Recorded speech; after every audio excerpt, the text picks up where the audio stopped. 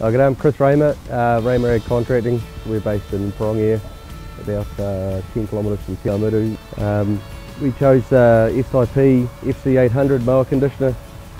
Um, main reason for choosing it was uh, the robust design and uh, very very simple to use, no controllers needed, it's all basic and uh, the tractor can control everything at the fingertips.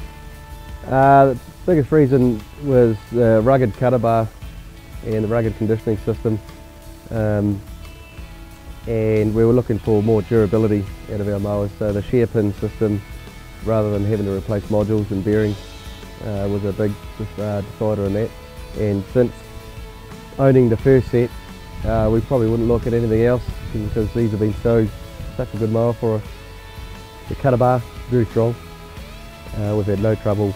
This is our second set. Our first set we still have. We didn't trade. We prefer to keep it and keep it as a backup mower.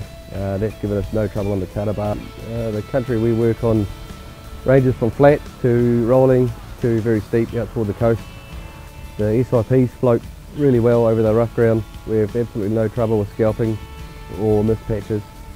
So um, we end up with a good clean quality cut. The uh, shear pin system works excellent. Uh, on the stony ground we've had a few times where very large rocks have caught the mower and um, just as small as damage as the shear pin, so that's easy to fix. Uh, 10 minute job. Um, not a lot to happen every day. It's, it's only once, twice, three times a season if we're lucky, and it protects the bar. Uh, the mowers we will cut 1500 to 2000 hectares a season with them. Uh, this is the primary machine. It does all the work. Um, mostly in front of loader wagons and balers, and easily driven we, we stuck with the 8 metre because we're looking at mowing with 180 horsepower and not having to go oversized with the tractor, 200 at the most. And, and 180 is plenty for it even on the steeper ground.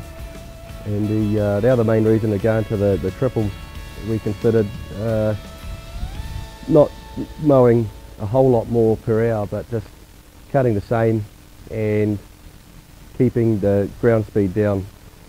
Webbline's stand by the machine, very helpful. If we have any small problems, they're pretty quick to jump on it and get things sorted for us. We've never really had any downtime with this machine, um, so the service has been excellent there.